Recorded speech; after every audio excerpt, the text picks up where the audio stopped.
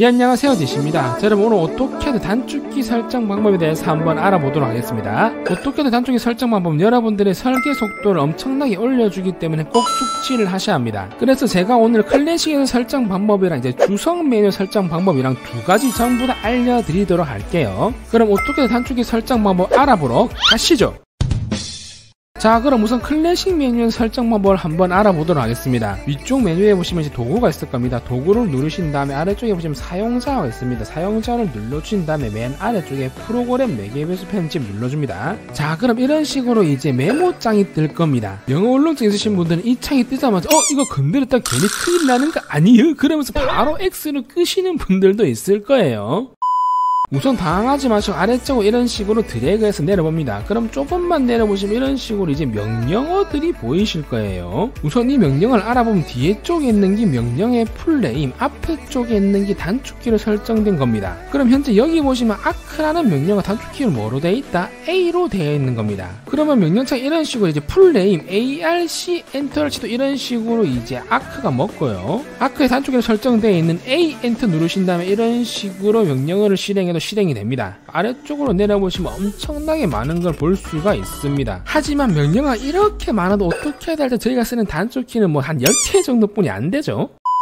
그래서 저희가 단축키를 한번 설정해 볼 건데 요 중간중간에 여러분들이 단축키를 이제 넣으시면 안 돼요. 왜냐면 나중에 찾지를 못하니까 드래그로 맨 아래쪽까지 이런 식으로 끝까지 내려옵니다. 자 근데 여러분들이 단축키를 만들기 전에 꼭 확인해야 될 게 있습니다. 명령창에다 제가 S 엔터를 한번 해볼게요. 그럼 이런 식으로 stretch가 실행이 되죠. 그러면 이 S는 절대로 단축키로 만드시면 안 됩니다. 왜냐면 이미 S가 단축키로 설정이 되어 있기 때문에 그런 거예요. 그러면 제가 만약에 SS 엔터 쳤다. 그럼 위쪽에 뭐라고 나옵니까? 이런 식으로 알 수 없는 명령 SS라고 나오죠. 그러면 저 SS는 여러분들이 단축키로 설정해서 사용할 수가 있는 겁니다. 그렇기 때문에 단축키를 만들기 전에 여러분들이 사용하고 싶으신 단축키가 이미 설정이 되어 있는지 꼭 확인하신 후 단축키를 만드셔야 합니다.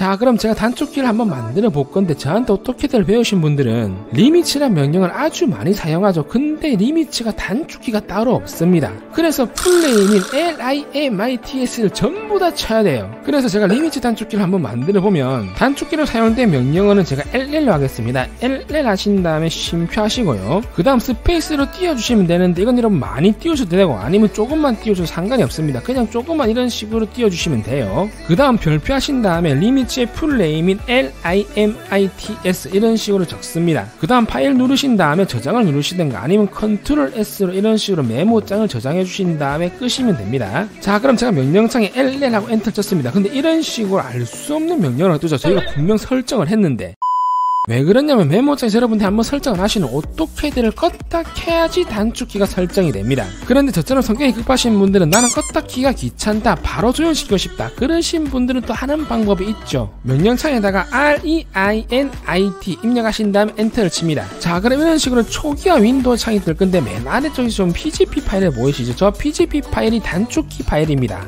그러면 이런 식으로 체크를 해주신 다음에 확인을 눌러주시면 돼요. 자 그럼 다시 명령창에 LL하고 엔터 엔터를 치보시면 이런 식으로 바로 LIMITS가 실행이 되시는 게 보이실 겁니다. 그럼 이제부터 LIMITS를 설정할 때 LIMITS 이런 식으로 양손으로 타이핑을 안 하시고 그냥 바로 LL 엔터 이런 식으로 실행이 되니까 엄청나게 편리하죠. 자 현재 보시는 단축키가 제가 사용하고 있는 단축키입니다. 제 단축키를 사용하고 싶으신 분들은 정규강좌 학생분들은 1강 옆에 첨부 파일로 첨부가 되어 있고요. 무료강좌 학생분들은 카페 옵션 설정 게시판에 보시면 오토캐드 DC 단축키 설정 방법 게시물에 첨부가 되어 있을 겁니다. 그러면 이 메모장에 있는 제 단축키를 그대로 여러분들이 들어가신 다음에 컨트롤 C 요 밑에다 컨트롤 V로 이런 식으로 복사 붙여넣기 하시면 됩니다. 제 단축키 사용 방법은 DC 단축키 사용 방법 강좌가 따로 있으니까 해당 강좌를 참조하시면 됩니다.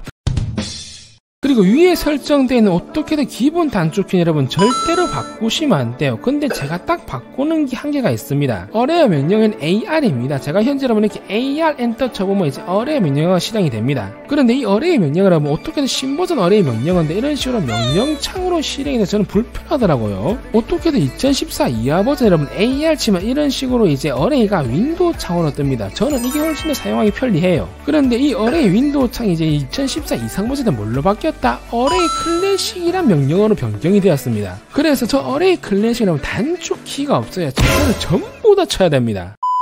그래서 이 array 뒤에 뭘 붙인다? CLASSIC classic을 붙여줍니다. 대소문자는 상관이 없습니다. 저장하신 다음에 메모장 끄시고요. 그 다음에 또 여러분들이 REINIT 하신 다음에 엔터 눌러주시고 이런 식으로 초기화 한번 해줍니다. 그럼 명령창 여러분들이 AR 엔터 치시면 이런 식으로 이제 array classic으로 실행이 돼요. 그리고 제 오토캐드 강좌는 이제 실무자분들도 많이 수강하시지만 이제 시험을 준비하시는 학생분들도 많이 수강하십니다. 시험을 준비하시는 분들은 연습하실 때는 여러분들이 편하신 대로 단축키를 변경해서 사용해도 되지만 국가 시험에서는 미리 세팅된 단축키가 있으면 부정행위이기 때문에 노트북을 시험장에 들고 가시는 분들은 꼭 단축키를 초기화하시거나 아니면 꼭 포맷을 하시고 가셔야 합니다. 유튜브에 노트북을 아주 손쉽게 포맷할 수 있는 방법 강좌가 있으니까 해당 강좌를 참조하시면 됩니다. 그리고 시험장 가서 여러분들이 어떻게든 기본 단축키는 절대로 건드리시면 안 돼요. 왜냐하면 여러분들이 시험을 치고 그 다음에 또 시험 치시는 분들이 있겠죠. 그러면 그분들은 어떻게든 기본 단축키를 사용할 건데 명령어가 실행 안 되면 아주 당황스럽겠죠. 그렇기 때문에 어떻게든 기본 단축키는 절대로 건드리시면 안 됩니다.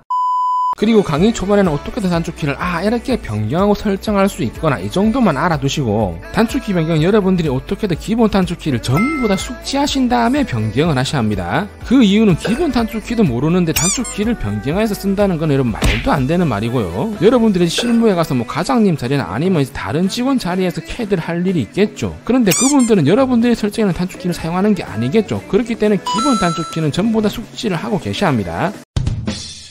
자, 그 다음 주석 메뉴에서 단축키 변경은 어떻게 하냐? 아주 간단합니다. 위쪽 메뉴에 보시면 여러분 관리라고 있습니다. 관리 탭을 누르신 다음에 아래쪽에 보시면 별칭 편집이 있죠. 이 별칭 편집을 눌러주신 다음에 실행해 보시면 이런 식으로 이제 메모장이 뜰 겁니다. 나머지는 저희가 앞에 했던 방식이랑 전부 다 동일합니다. 끝! 자 오늘 이렇게 해서 어떻게든 단축키 설정 방법에 대해서 한번 알아봤습니다. 어떻게든 단축키 설정은 굳이 절 따라하실 필요 없고 여러분들이 사용해보시고 여러분들이 편하신 걸로 변경하시면 됩니다. 굳이 기본 단축키를 전부 다 변경하실 필요는 없고 손 동선이 이제 긴 단축키들이 있죠. 그런 것만 여러분들이 편리하게 한쪽으로 몰아서 변경해 주시면 됩니다. 단축키를 설정한 거랑 설정 안 한 거는 이제 설계 실무 속도가 엄청나게 차이가 나기 때문에 실무에서는 여러분들만의 단축키를 만들어 보시는 걸 추천드립니다. 제가 늘 말하는 거 있죠. 설계 실무 속도 가 여러분들의 연봉입니다. 제가 준비한 강좌는 여기까지입니다. 여러분 가시기 전에 좋아요, 구독 버튼 한 번씩 눌러주시고 저는 다음에 더 좋은 강좌로 찾아뵙도록 하겠습니다.